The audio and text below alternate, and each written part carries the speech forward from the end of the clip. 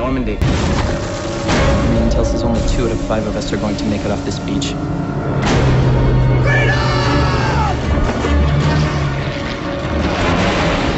Let us launch. They're gonna die without us.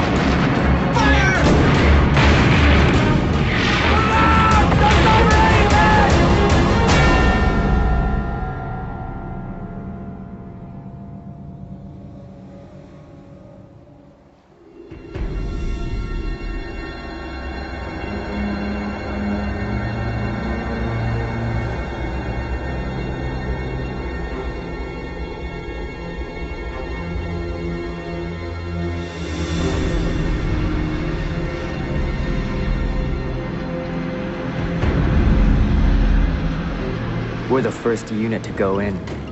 110 men of C Company, 1st Canadian Parachute Battalion.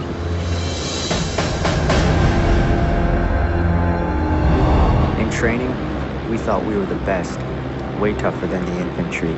But this is going to be our first time in combat, our first chance to do our part. June 1944. The world's been at war for almost five years. Hitler's war machine has killed millions, and Europe is living under Nazi rule. But that's about to change. After two years of planning and training, this is it D-Day.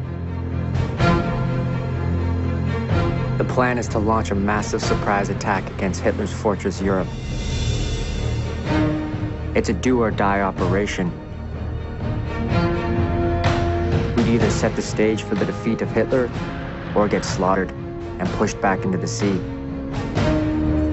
The beaches are codenamed Sword, Gold, Utah, Omaha.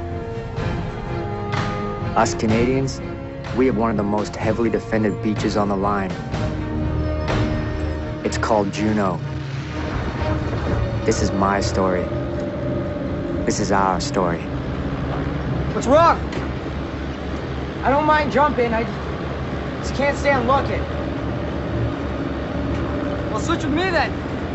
We were going to be dropped deep into Nazi occupied France, nine hours before the rest of the invasion forces even hit the beaches. Jeez Louise, Artigan, what you got in there? A few extra mortars. You're gonna drop like a rock. We were the tip of the spear. Woo! Best seat in the house here. Almost 7,000 ships stretched out across the English Channel, about 160,000 men. D-Day, the largest seaborne invasion in history. Holy Jesus. And me, a kid from Sydney, Nova Scotia, way out in front.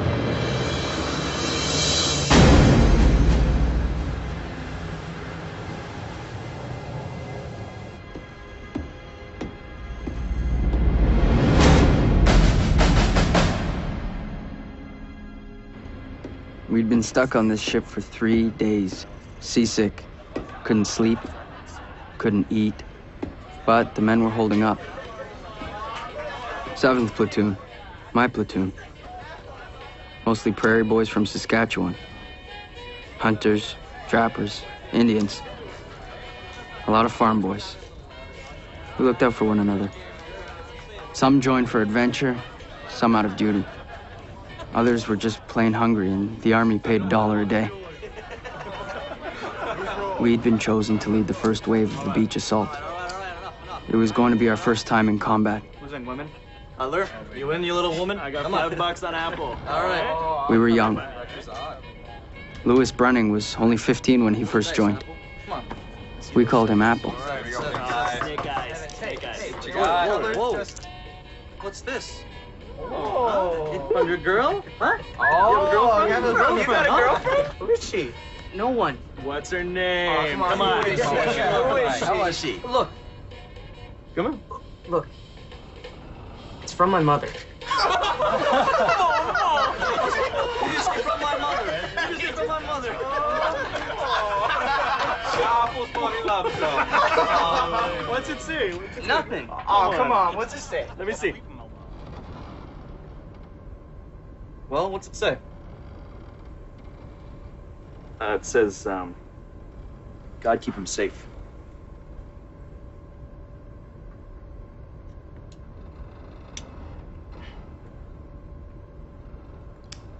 Well, God let him roll sevens, huh?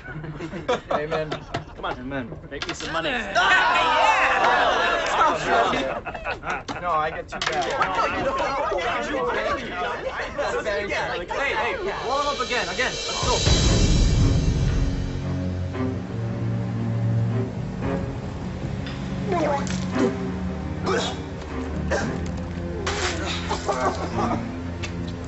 What? Something I said?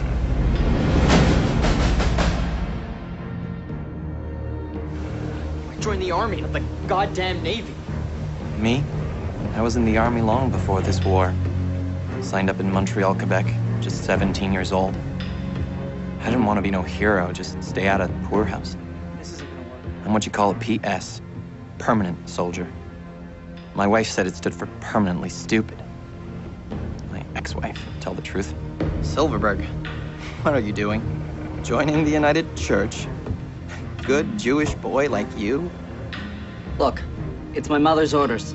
Turn the J to a U, just in case we get taken prisoner. No one's gonna take us prisoner. We're going all the way to Paris. I'll find you all a nice mademoiselle. You'll see.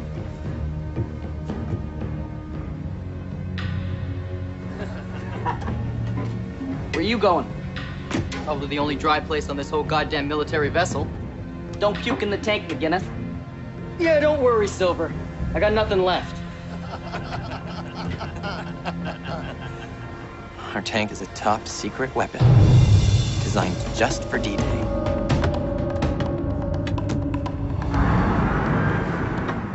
It can launch directly into the sea. They're called a duplex drive. You take a Sherman tank, add an inflatable canvas screen, waterproof the hull, connect propellers to the drive shaft. Hey, voila. Uh, you have a 32-ton floating tank. And when she drives out of the sea, a big surprise for the Germans.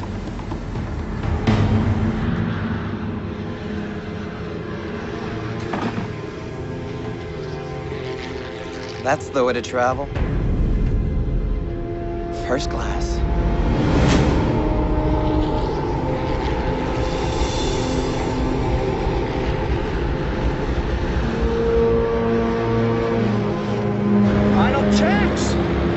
Were going in, disguised as a routine bombing run. That's why we were packed into these old bombers like sardines. Calling final checks. Be bloody careful. No accidents, please. The drop was behind enemy lines, 15 miles from the coast where the main invasion force would land. We'd be on our own for days, so we loaded ourselves down with extra grenades, mortar rounds, you name it. Out again!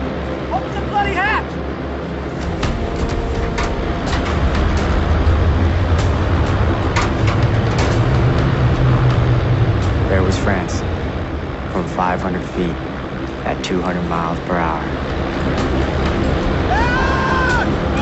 The red light was the warning. Two minutes till the green light. Two minutes before all of us, 110 men of C Company would jump straight into God knows what. Remember, we've got 15 seconds to play this play! So move fast! Artigan, slide me a cigarette, would ya? Hit that ground and move! What? Now? Five minutes to make it to the rally point! I don't mean for now. For later. You do not make it! You're on your own! There. Take the whole goddamn pack. Good luck. I tried not to think about being shot on the drop, or landing on a tree, or drowning in the flooded fields below.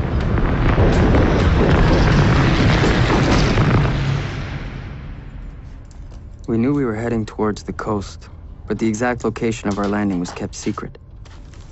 Most bets were on Calais. Some thought Holland, even Germany itself. We're going to Normandy. Did anyone win the bet? No, sir. Good. Let's hope the Jerrys are even more surprised.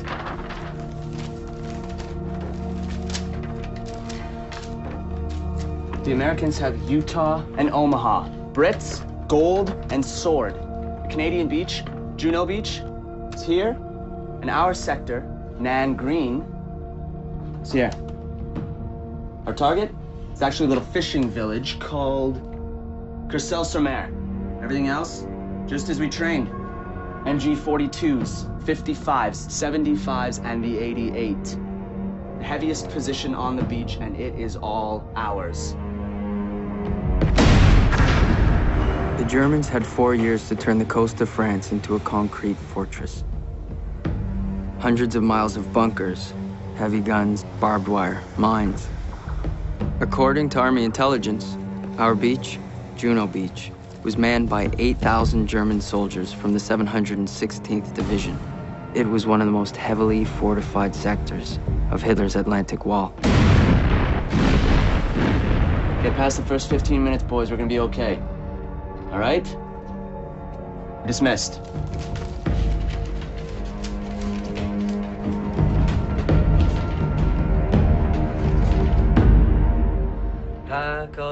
Most of us weren't expected to make it off the beach. We all knew, but nobody talked about it. Smile, boys, that's the style. What's the use of worrying? It never was worthwhile.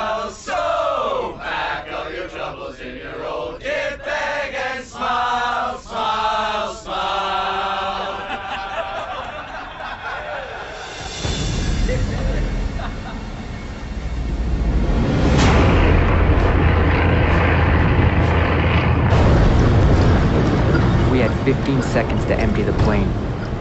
If you hesitated, the men behind you would get scattered and we'd all be screwed. Of course, the plane had to be exactly in the right place at the right time.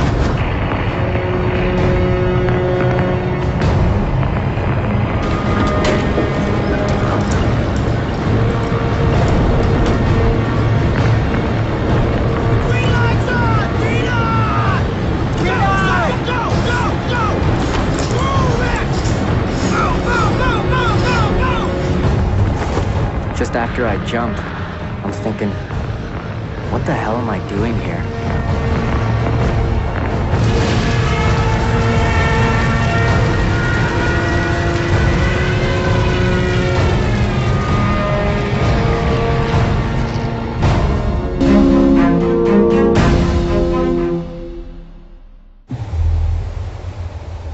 D-Day. We launch at dawn. The plan is to drop into the sea two miles offshore and arrive just before the infantry. There's no turning back now. Listen, gonna tell you straight up. I Army Intel says only two out of five of us are going to make it off this beach. If we want to make it, we're gonna have to keep our heads. Stay smart. Remember that we got one job, punch through the enemy lines. Remember that, and we'll be okay. The paratroopers would have landed by now.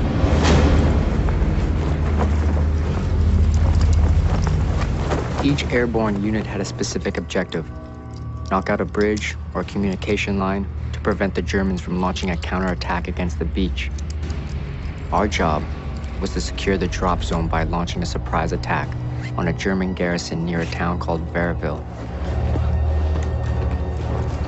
We had to take out their main gun before the next wave of 2,500 paratroopers came in. If we failed, those boys would get slaughtered.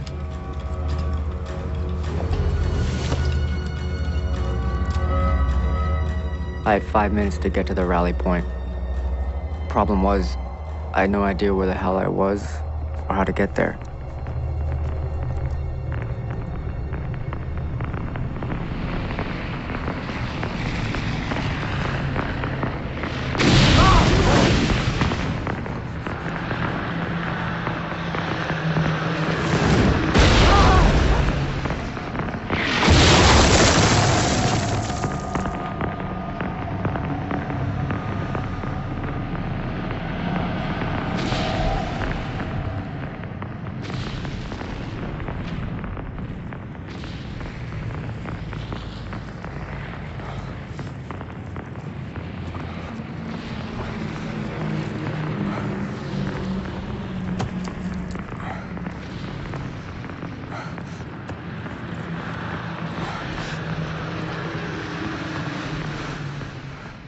First time I get bombed, and it's by our own Air Force. Maybe they missed their target. Maybe we'd been dropped in the wrong place. Maybe both. Maybe we were all screwing up.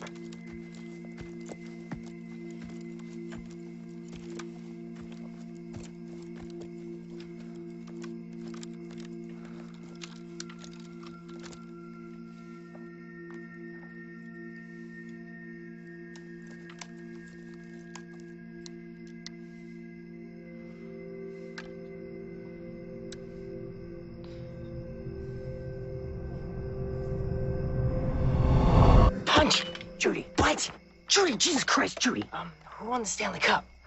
Habs. Four games straight. You look like shit, Hardigan. You're one to talk. Any idea where we are? France?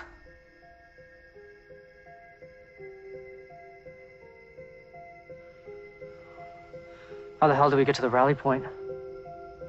I don't know. We'd missed the rendezvous. I wondered how many others were lost, wandering around the French countryside, or dead.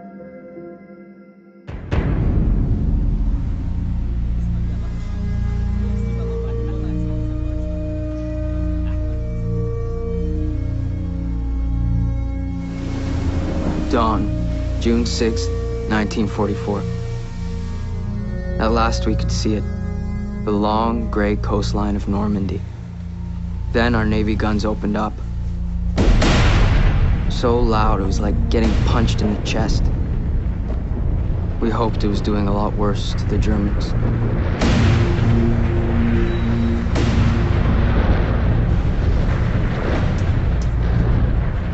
All right, all right, one last time. LCA drops us off here at H hour. Catesman. Chief snipes the machine gun position here, while me, Apple, Bashnik, and Colty take the Bangalores and blow the wire here. Good. Blow the wire. Chief. Section 1 pushes through to take the machine gun pillbox. Stork. We then rally here and attack the main bunker here, destroying the 88. Good. All right, there'll be a lot of heavy smoke. What do you do if you get lost? Grab Stork and poke his head through the clouds. Move up that beach and keep moving no matter what. You do not stop to help the wounded. No one stops. Medics take care of that, all right?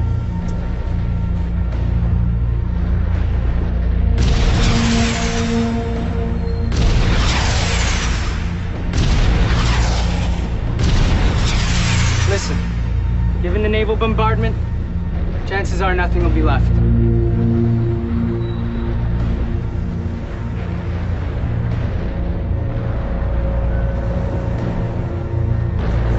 With seas like this, launching the tanks was going to be tricky. But the time was here to get them in the water. The Bloody Brit won't let us launch. What? Navy Command is saying it's too rough. But this is bullshit. Well, Sergeant, I can see their point. We never launched in conditions like this before. But, sir, I. Four of your men can't even swim. Yeah, Including you. Major, I speak for my men. We'd rather take our chances out there than stay on this rolling puke bucket. Come on, sir, let us launch. Those infantry boys, they're gonna die without us. Okay. Leave it to me. What about the Brit? It's not his show. Sergeant Guerrier. Bon chance. I was thinking, was that very brave? Or very stupid?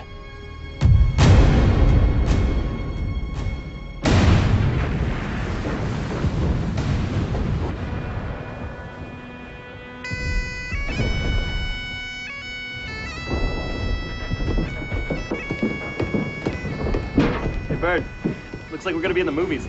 Yeah, like a regular Gary Cooper, huh? Hi, Mom. Hey, Apple, you know why bagpipers are always walking around? Get away from that noise.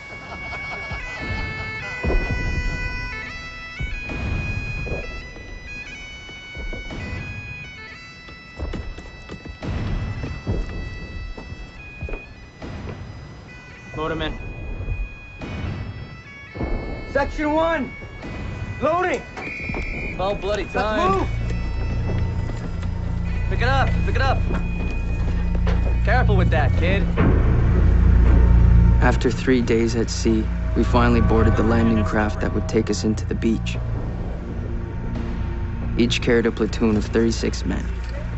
Just little boats made of plywood and steel, bouncing around like a cork. According to plan, we were to land on the beach at H hour, just when the naval bombardment was scheduled to stop. We were scared. Anyone who said he wasn't was either a liar or just plain crazy.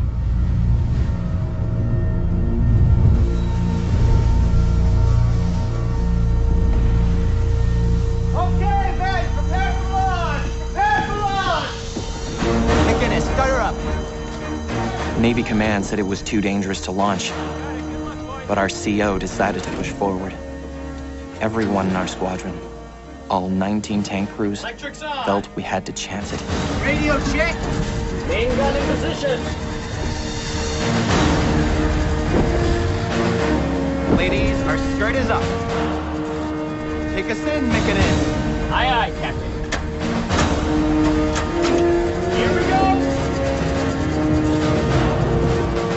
Launched more than two miles offshore, the first tank in our unit to go in. But I wondered how many of us would make the beach. Dawn. D-Day. The first infantry assault wave is already headed for the beach.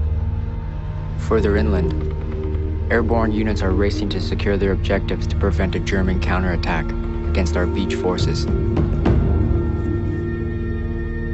Malin and I had spent the whole night dodging enemy patrols. By sunrise, we finally made our way to the objective, the German garrison at Varaville. We were so late, we figured the rest of our unit had already knocked out the gun that threatened our main drop zone.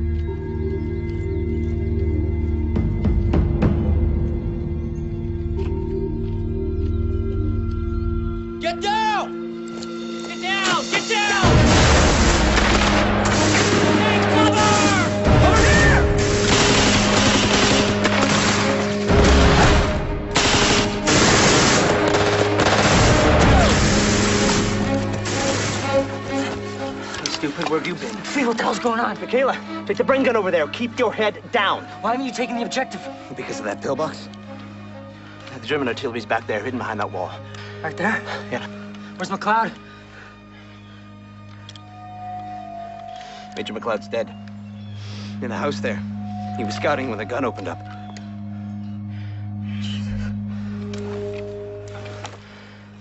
Where the hell's everyone else? Only 17 of us made it. We can't get past that pillbox. So go around. We tried that. There's minefields on either side. There's no way in. We have to do something. We can't take it. We're outnumbered. And we got nothing. No PIATs, one Bren gun. Your mortar's the biggest thing we've got. Best bet is just to keep them tied up till reinforcements come. Bullshit. We've got to do something. Let me scout the position. Maybe I can find a way in. Okay. See if you can get up to the rooftop. Sergeant McPhee and the others had kept the enemy engaged all night. But sooner or later, German reinforcements were bound to show up.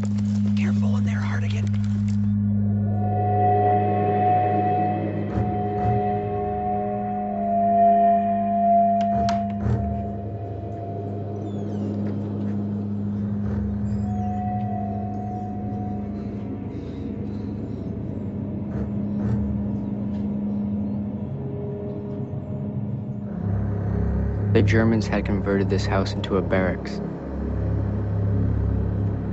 While I was lost in the French countryside, our commander, Major McLeod, led the assault.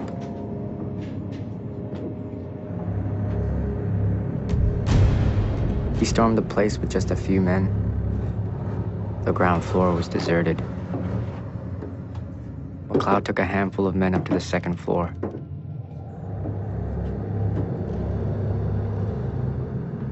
It was empty too. The beds were still warm.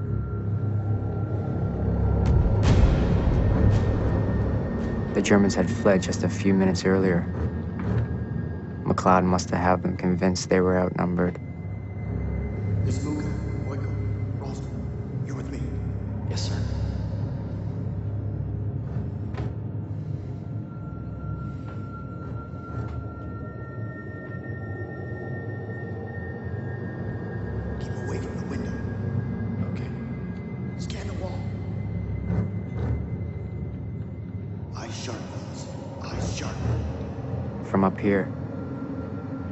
McLeod and his men began to scout for the Germans' main gun. But the gun found them first.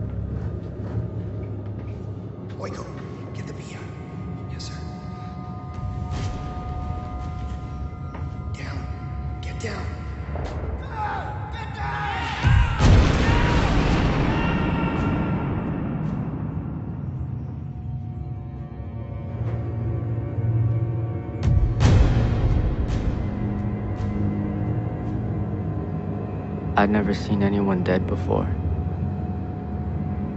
I didn't know things like that could happen to a person's body.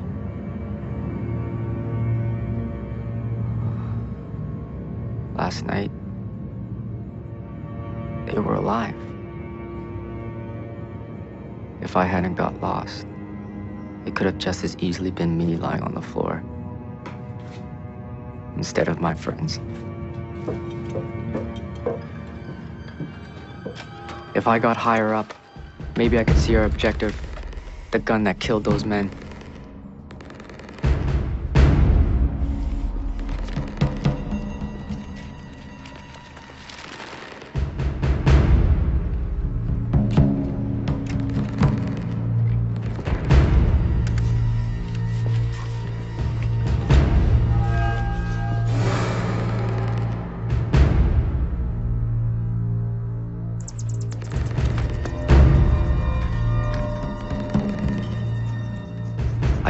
Pillbox that had us pinned.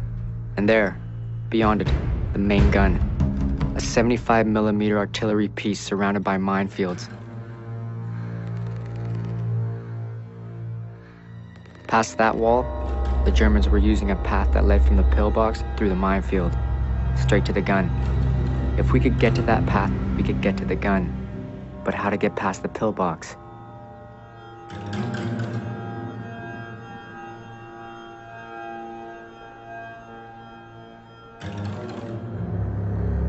I saw it. A way in.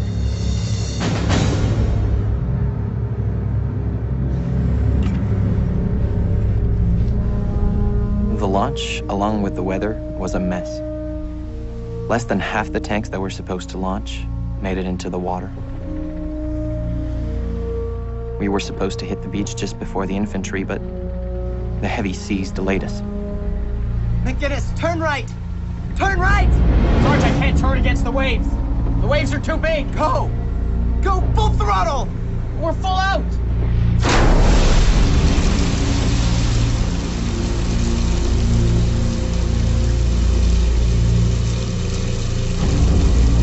Please God, not now.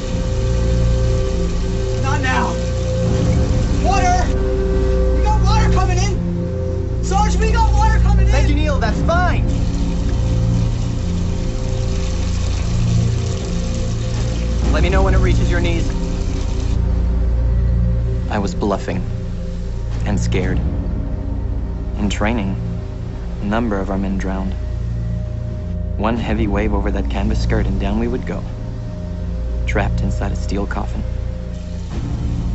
I was worried for my crew, but we were late.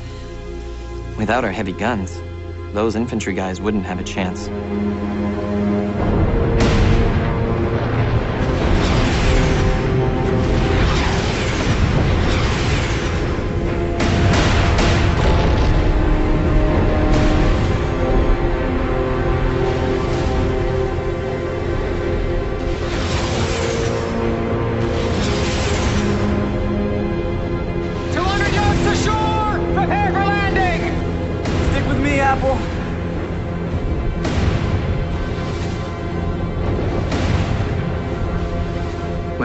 Guns fell silent, I knew we were in trouble.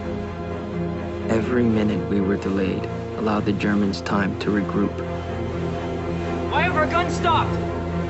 We're late. We're supposed to be on the beach now. A mile offshore, the sea was crowded with landing crafts. But as we drew closer to our landing sectors, we began to spread out. 100 yards! Get yourself ready! Bashnik, you okay with that? Soon, we were alone. I'm right behind you, buddy.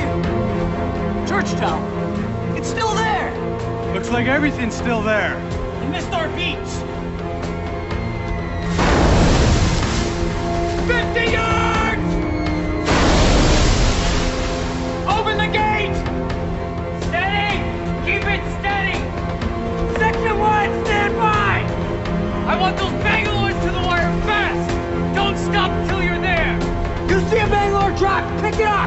You see a ladder drop, you pick it up!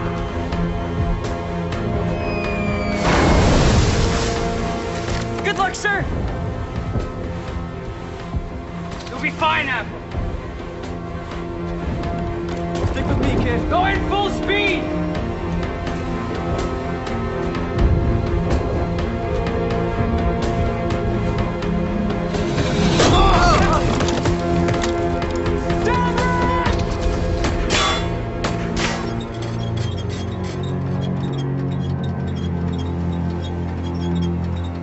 The Navy bombardment had left the enemy's positions unscathed. Where the hell is everyone? We couldn't see them, Where the hell are the tanks? but we knew they were waiting for us.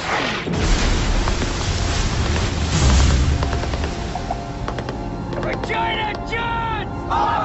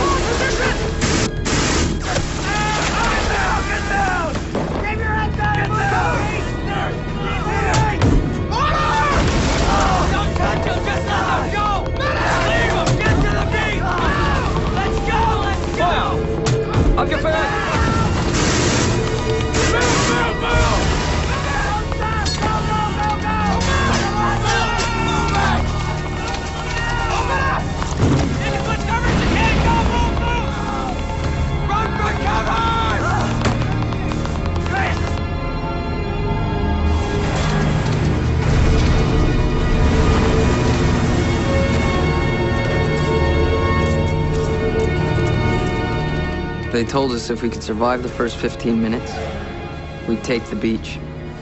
But we landed directly in front of a machine gun pillbox. Five minutes in, and I'd lost most of my platoon. We stay here, we're dead! Cover me! Cover fire!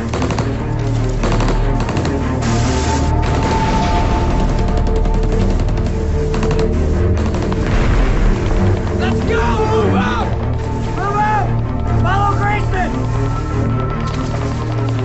You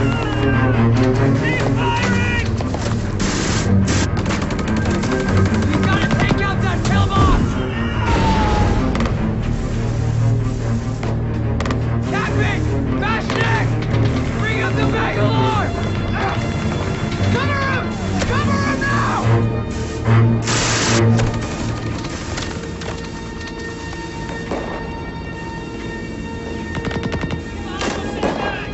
the Bangalore! Move! We gotta blow this fire! Start! Got the Bangalore! Hurry up! Got the Bangalore! Get back here! Hurry you up! okay? Start! Hurry up! Get the Bangalore! I'm sorry, Phil! Get that back!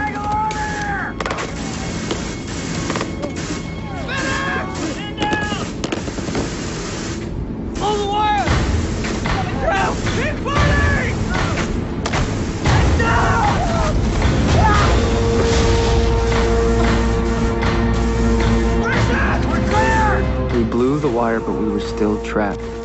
There were no tanks, no support. We were alone.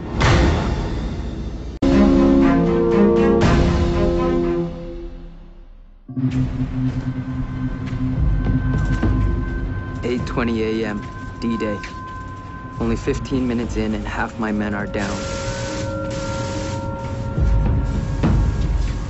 The enemy resistance is fierce. I made it to the beach, but so many of my men never made it out of the water.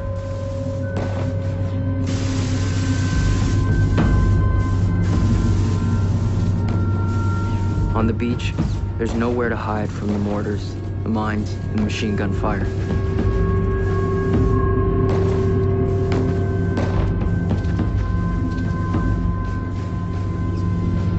We were trapped behind the wire until a lone tank surfaced from the sea.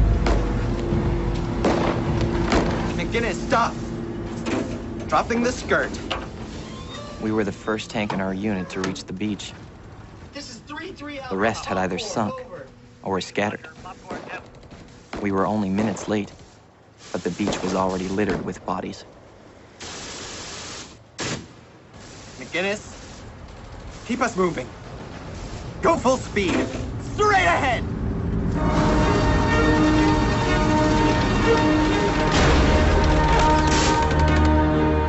Hit the pillbox! Load one round! HE!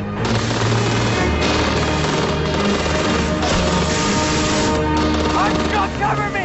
I'm going! I'm going! Cover fire! I'm going for the pillbox! Back up the machine gun!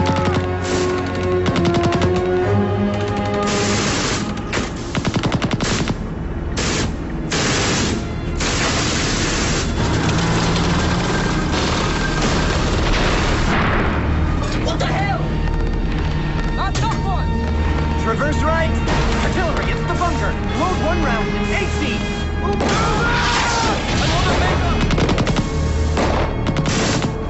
To the right of the machine gun pillbox, there was a large fortified bunker. It was a tank killer.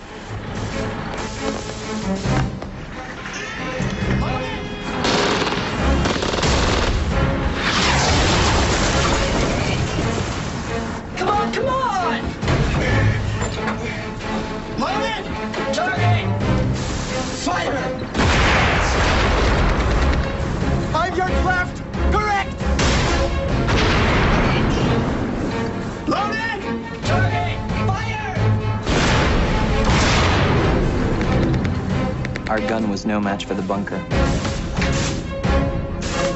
But we could hit the machine gun that was killing our infantry. I gotta get close!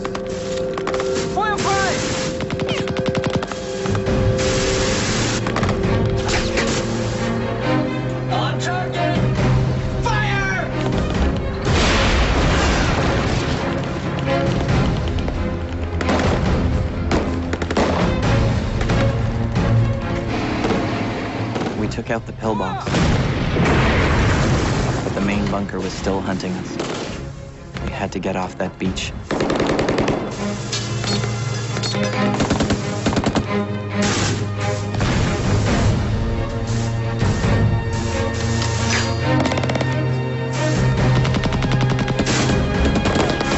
With the pillbox destroyed, I made my way to the bunker to take out that artillery piece.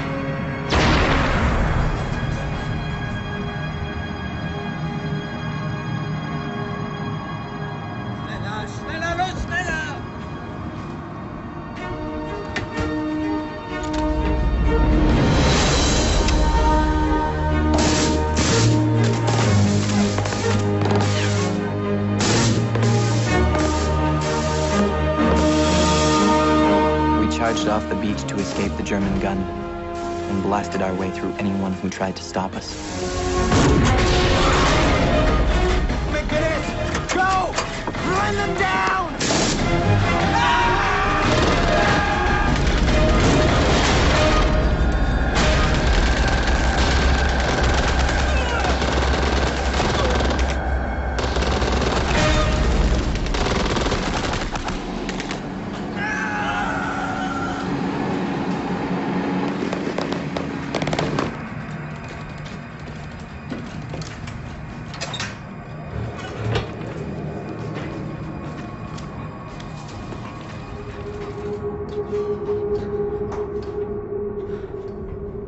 Entered the bunker and found myself underground.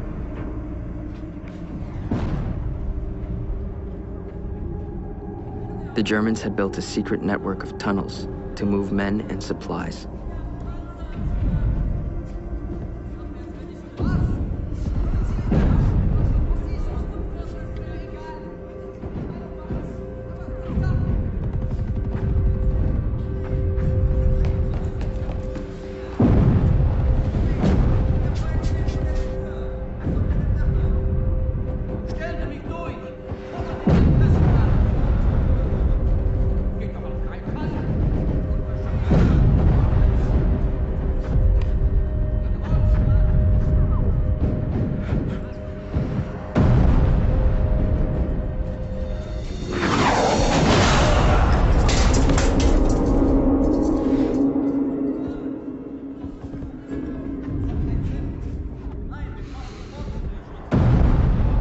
Close, but I didn't know where or how many.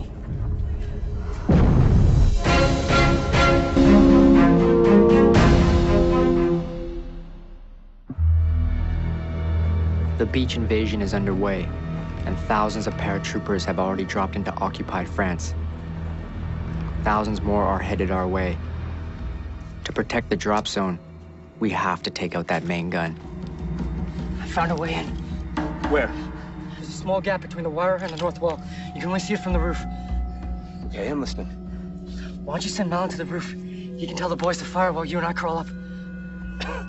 You bloody nuts. Even if we get past that pillbox, how are we gonna take out the 75? We have to get close. Fire flat, like a bazooka. it's only a matter of time till German reinforcements show up. I only have five rounds, so we have to get close. We hit them point blank. It'll work. Let's do it. Ross, you fire Malin's signal. Let's go.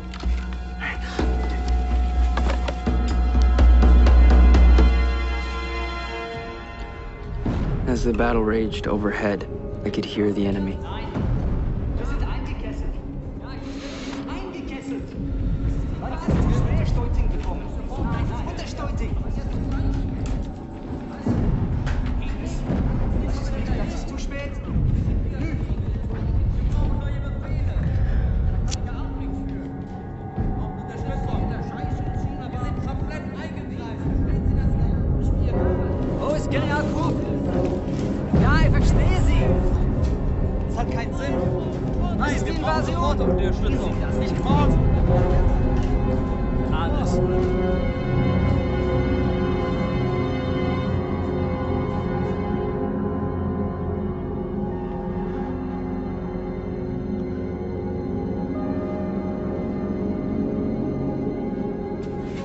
Taken the command post.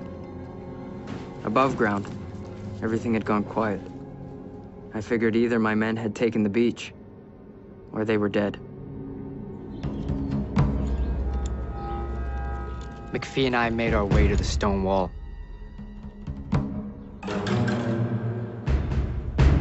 This would be our only chance to take out the main gun. From the roof, Malin would give the signal for our guys to open up.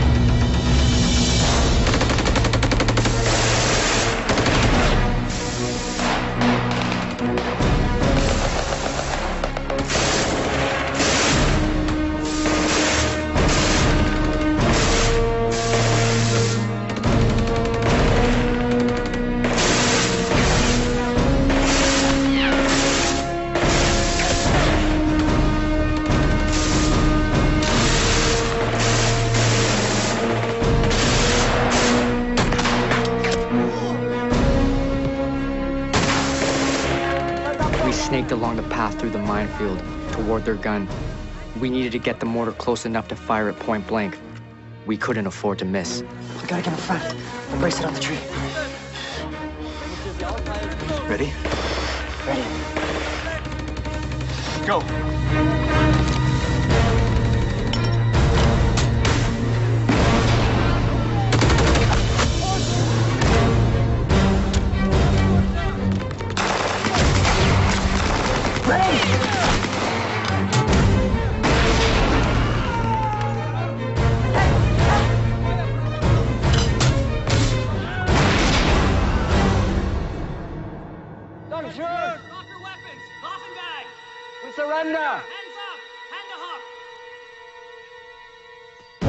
Garrison at Varaville had us outnumbered, but we took out their gun and captured more than 80 prisoners. We radioed the code word blood. It meant C Company, the 1st Canadian Parachute Battalion, had completed the mission.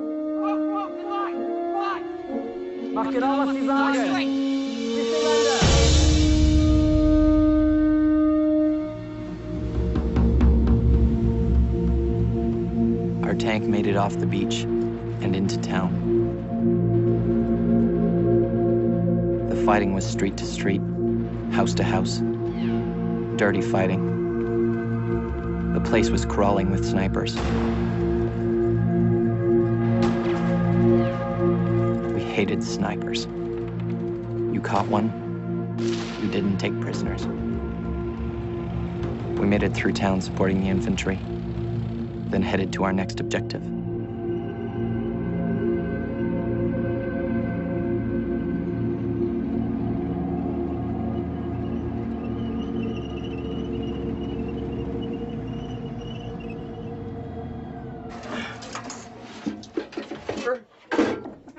We stopped in the French countryside. You could hear the war in the distance. But here, everything was calm.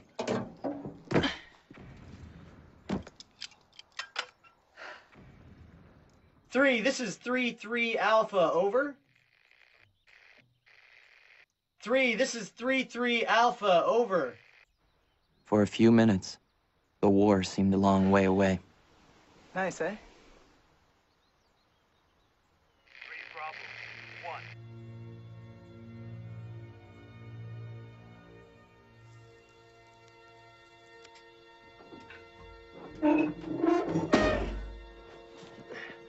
Sarge, the CO wants us to rendezvous at a crossroads a mile up road. One other thing. Our troop, number three troop, we're the only ones left.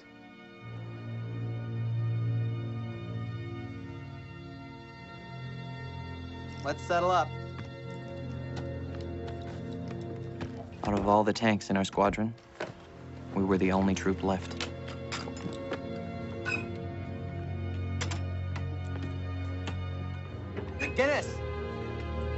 On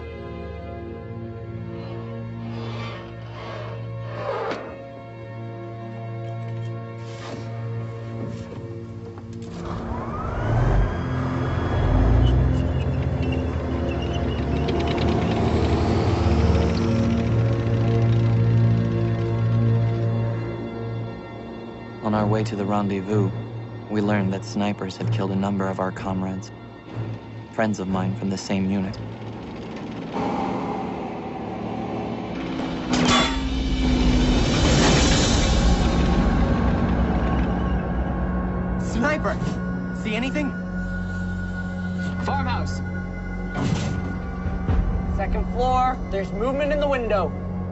McGinnis, take us in. Nels, one round HE. Nels could radio it in. Let the infantry deal with I it. said take us in! That is a goddamn order! Maybe I wasn't rational. Maybe I was angry.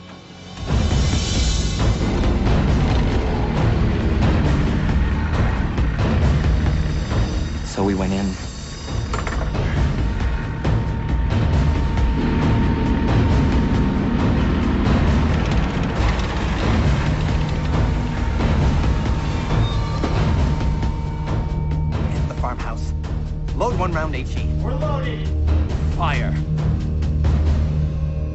Fire! Sir! What the hell are you waiting There are for? people, civilians!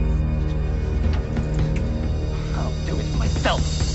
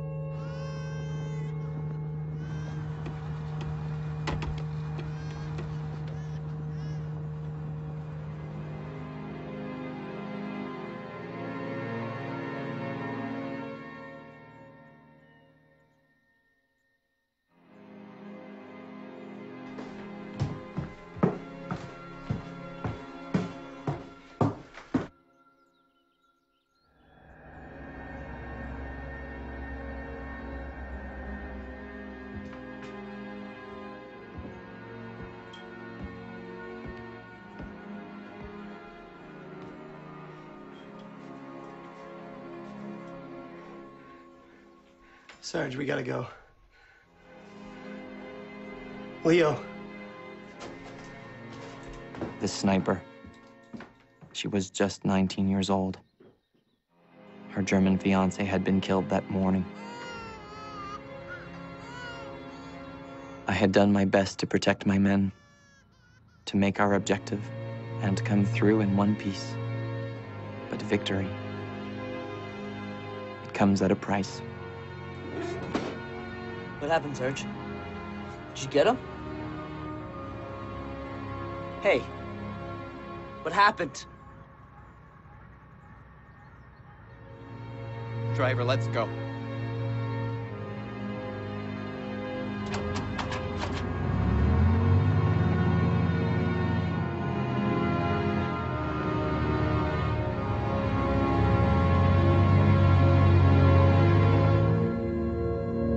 Had broken through the first line of German defense on Juno Beach. Hitler's Atlantic Wall was finally breached. For many of the German prisoners we had captured, their war was over. But for many of my men, they had lost so much more.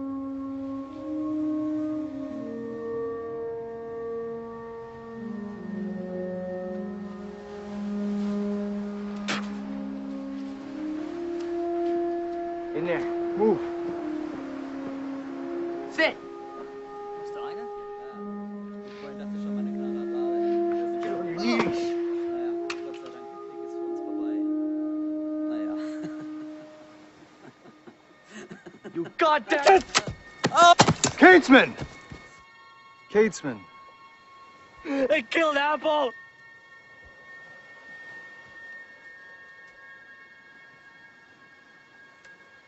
Ah!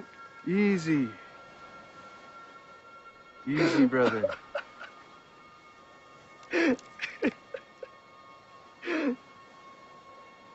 He was just a kid.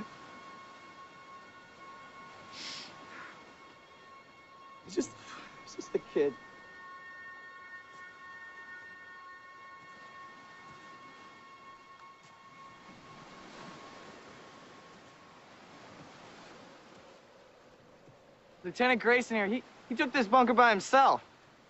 You should have seen him. I, Sergeant and I were just along for the ride. You should have seen it. All by himself.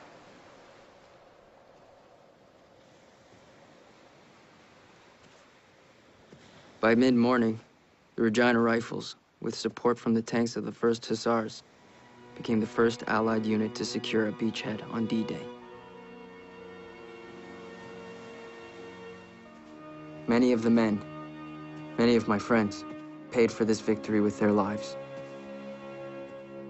Of the 110 men of A Company, only 17 of us made it off Juno Beach.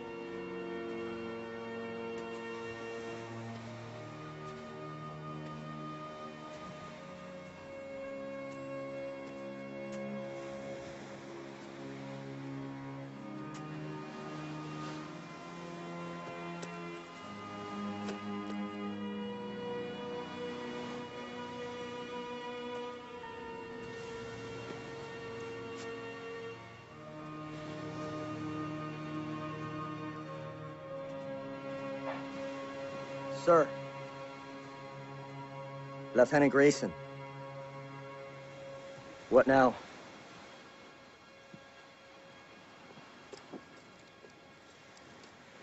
Get the men.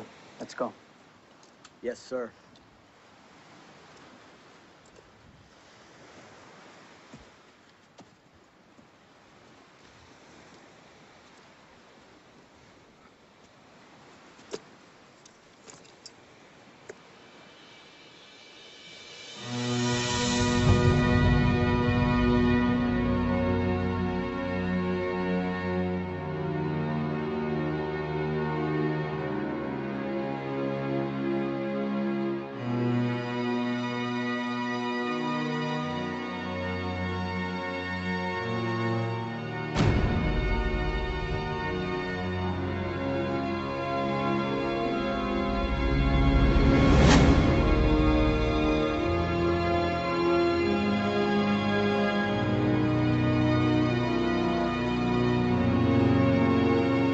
This footage of Canadian troops storming Juno was amongst the first images of D-Day seen around the world.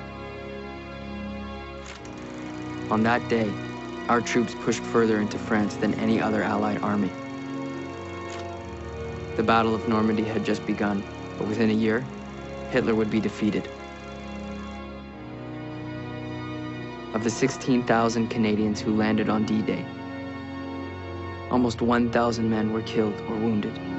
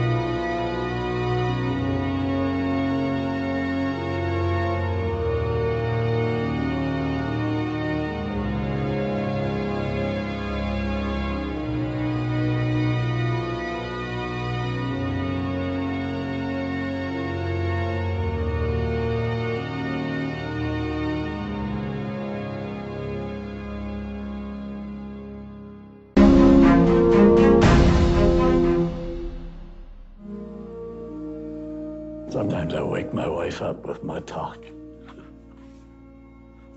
So she tells me in the morning. But, yeah, I dream a lot. I talked to a fellow this morning down there.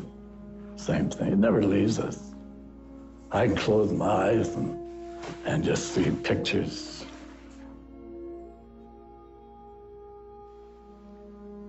I've tried to forget, and it's been over 60 years, so a few things fade away, but then something happens or, or questions are asked that uh, relive the situation. Some terrible things way back in there that we just don't talk about.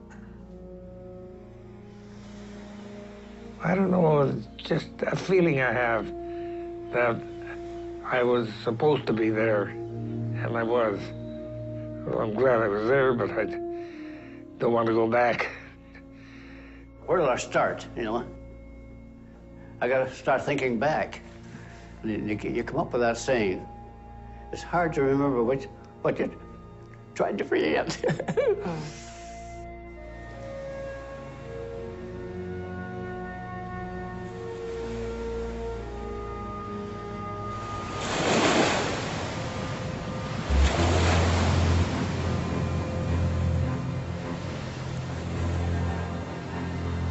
took part in the biggest armada that ever sailed the sea. Uh, you could almost walk to France, jump from one piece of equipment to another.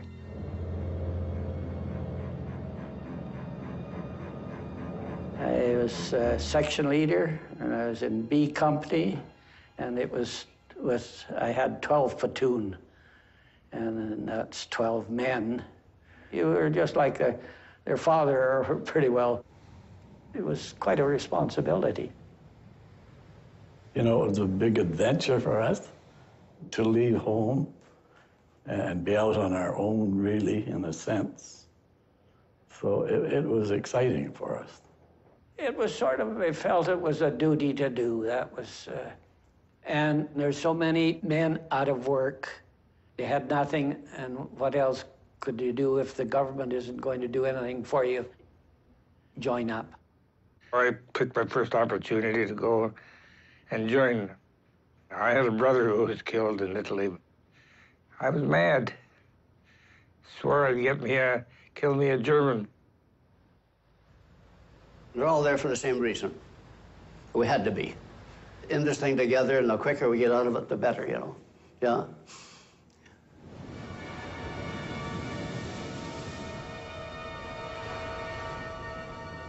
It was really quiet. There was nothing said. It's just one of those things. You knew you, you had this job to do, and you just kept it to yourself. Well, I think a lot of thinking and a lot of praying. oh, we had to sleep some, but we you didn't sleep that much with that on your mind, knowing that what might happen, what could happen. The night before, we got instructions to write our last letter home. I was married, young, just just just married, very young and married. And who do you send the letter to? Your mom and dad, or your wife? I addressed it to all of them. That's a hell of a letter to have to write.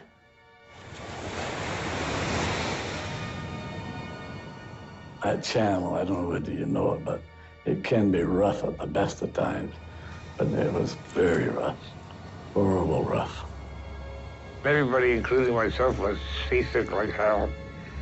The big uh, ships, the destroyers and the uh, battleships opened up a tremendous crescendo that that's why I'm wearing two hearing aids now.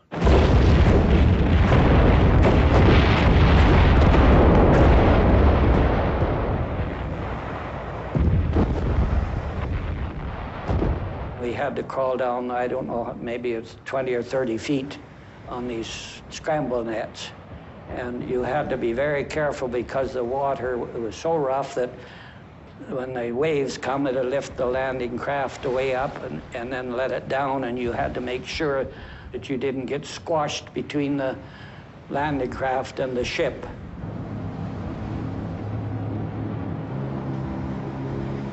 Right behind me, the battleship Rodney sat.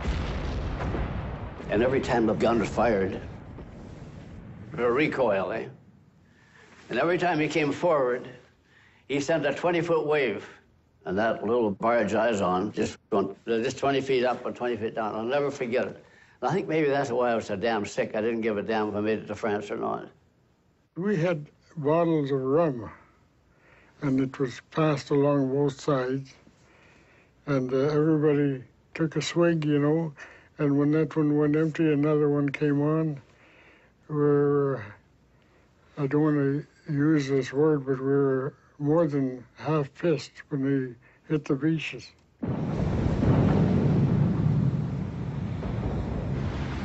There was lots of uh, fellas that had trained for two years, never touched the beach. They were dead before they ever touched the beach. I watched one that they hit a mine, and I just happened to be looking that way, and all of a sudden everything just big, big explosion. It just went blank, black, and two, you could see two bodies going up in the air. There was the uh, tanks. I don't know if you ever saw them. They were they floated them in. They had curtained on them, and, and they floated in so far. Amazing. Floating with a 45-ton tank with a couple, three or four Aprils and a couple of struts, and you know, not a good move. The whole thing got hit with a big wave or something. Down it would go. Next one, done the same thing. Too much heavy water. Way too rough. Wiped out right there. 25 men, five tanks.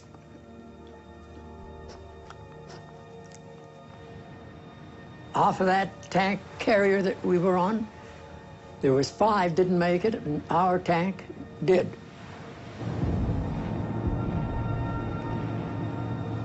You're scared stiff, and you can't tell it to anybody.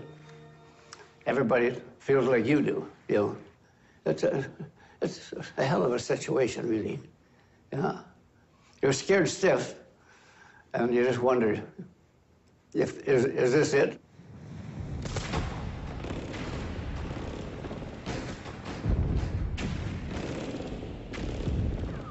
That moment is, is when you realize then, you realize then it was for real. I've always said you either grew up that day or you didn't grow up at all.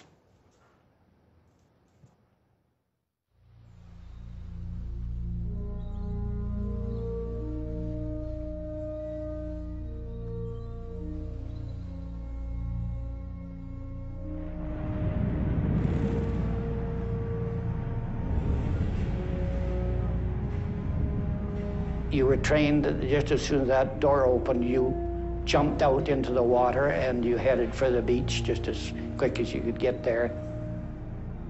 In case they had their guns aimed at you, well, they could just kill all you before as you were coming out. The first fellow that he got up and he got hit and he fell off into the water. And the second guy, he he got hit in the arm and he laid on the gangplank there. And then it was my turn. I was the third guy out. Well, he had to holler at me a couple of times because I, I was petrified. I couldn't move, you know. When you get up to your chest pretty well and you get a big wave and you, it pushes you forward, and then when it backs, it pulls you back again. It, it was really hard to ahead to get onto the beach. I waded past a couple of bodies already floating. I hit the ground running. I could see the sand kicking up where the bullets were hitting them, and I just kept running like hell. I was too stupid to be scared. If you get hit, well, then that's the time to start screaming.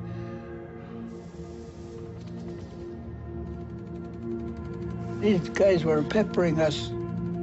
They had the concrete pillboxes all along. They had their Schmeisser MG42, fast, a fast, fast belt-fed gun. Just a like that. They were fast.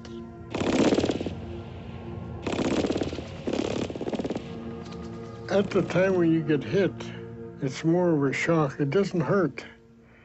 But I couldn't stand up. I couldn't run. I couldn't walk. I, the only way I could maneuver was crawl or wait till the tide pushed me up a little. Because the tide was coming in all the time. I was, scared. I'm telling you. I was really, really scared. But you had to go forward.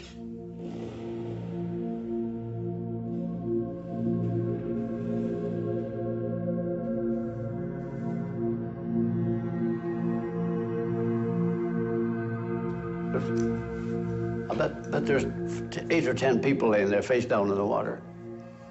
Regina rifle boys. Shot right on the beach, yeah. And you can't stop and pick those guys up. It wasn't pretty. Never forget it. Yeah.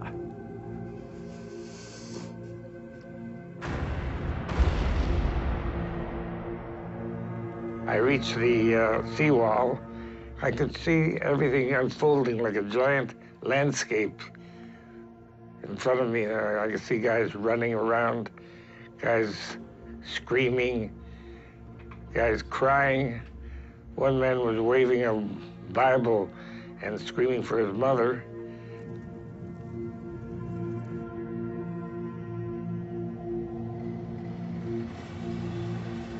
I seen like the this tank, what they call flail tank, big chains in front of it, turning and they're blowing up the mines as they go up the beach. So I followed him up the beach when I When we got tracks on France, We just drove maybe a couple of tank lengths out of the water, and all of a sudden I hear this thing like uh, snipers shot from, and we looked around and we saw this church steeple. That's where he's at. The order was, I still hear it, gunner, traverse left, steady on, church steeple. You're on, got it. Fire when ready. Took care of him, and uh, from then it was go forward. Our section would had to clean out this one pillbox. That was our particular job. We didn't want to be together because if a shell hit, we'd, we'd all get killed, so we had to kind of space ourselves out. You just kept going till you hit that first line. We threw in a hand grenade first, and just as soon as that exploded, you rushed in the back door, and then the thing you just sprayed it, sprayed anything that moved with bullets, and, uh, and uh, that was it. Anyone that had, was had a gun and, and waving it around, there was no hope for him. It's either you or him. Sergeant Snyder said the first guy he shot, he had given up and he kept hollering, comrade, comrade. And he said, I shot him anyway. He said, there was still a lot of fight left in, left in him. He said, You know, it's a hard thing to say, but they said that there was no way we could take prisoners because there was no place to put them. If there a German come out, it didn't matter, you disposed of them. That was just it, because you had to clean everything out of the way so the next wave of soldiers could come through. And uh, that's uh, the way it was. And how we ever got off there without losing a man, well,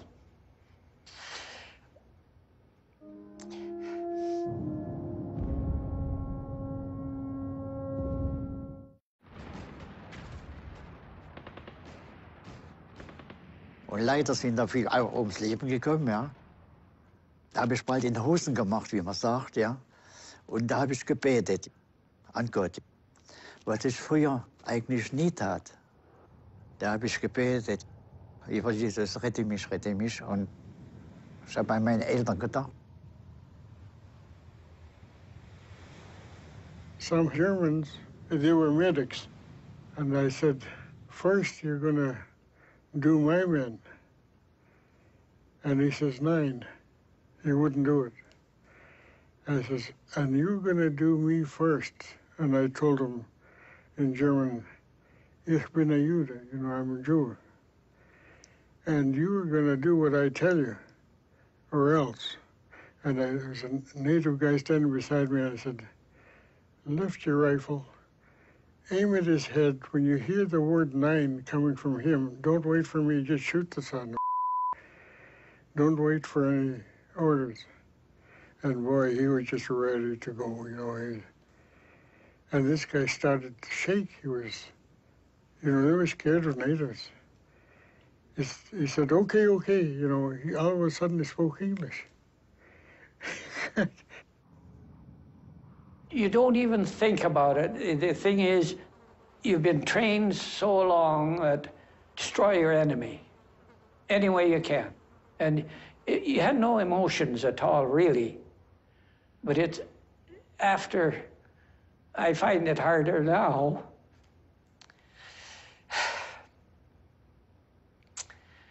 to think he was a human being just like I was. The only thing he was doing the same thing I was trained to do protect his country or protect what he was supposed to protect. Naja, die Kanadier waren sehr korrekt gegen uns über, wirklich, ja. Die haben uns die Kekse gegeben, ja, die Biskuite gegeben und Zigaretten. Ja, das war, da haben wir gestaunt. Als Gefangener, ja. ja.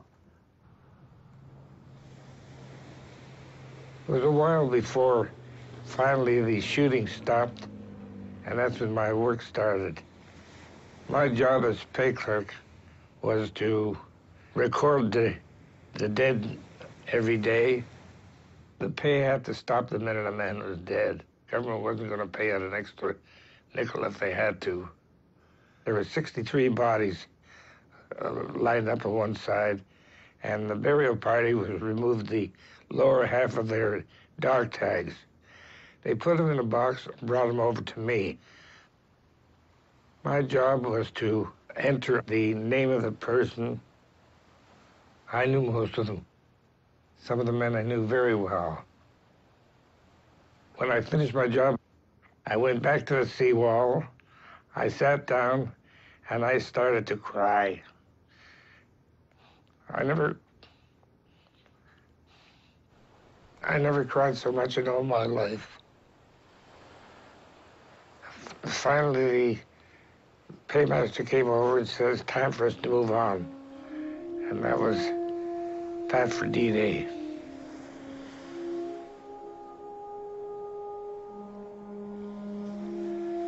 You know, sometimes you you wonder, what the heck am I doing here? You know, I don't have to be here.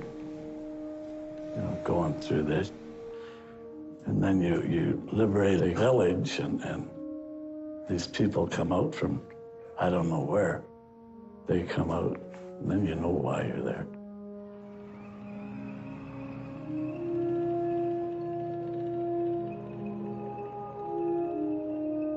Je, sors comme ça, hop, pouf. Je vois un grand gaillard, là, avec sa mitraillette. T'es pas un Bosch Il me dit. Ah, je dis, non, suis pas un Bosch. Mais je dis, t'es français, tu parles français. Mais on est des Canadiens français avec l'accent. on dit, en bon sang. Alors après, c'était la le calvados. Là, c'était plus la guerre, là. C'était la famille qui arrivait. Eh bien, écoutez, le soir, vivre encore avec l'occupant, et le lendemain, avec un libérateur, c'était la joie. C'était la joie. Ah là. Ah oui.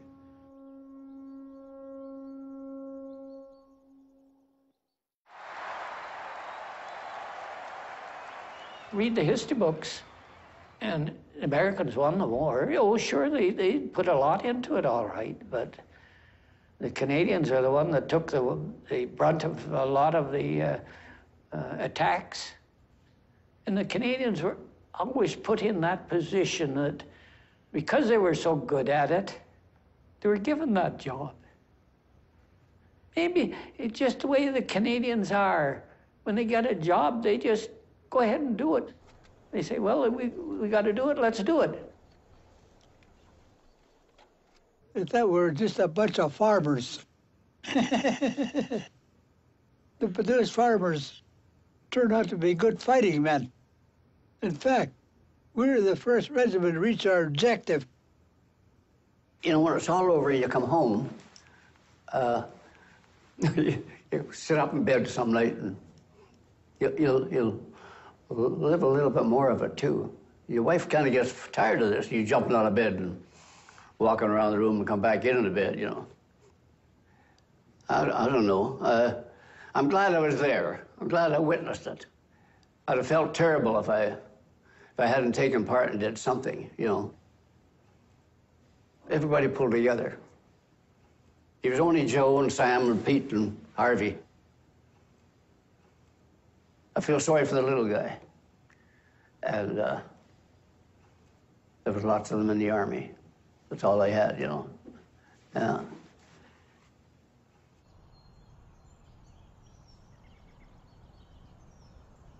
We stand for two minutes. What do they stand for? 65 years. Their whole life. We, we came back. We've enjoyed life. We had a home, we had a wife, children. They didn't. They didn't have any of that. But how often do we think about it? How often do we think about our freedom, really? You know, how often do you think about your freedom?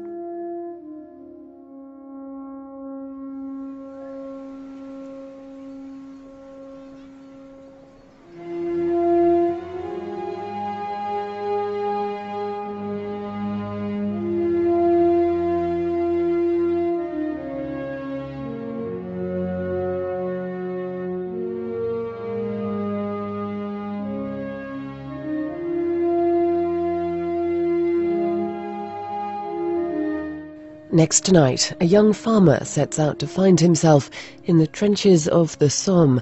Catherine Cookson's epic Great War saga of love and loss, The Cinder Path, here on Yesterday.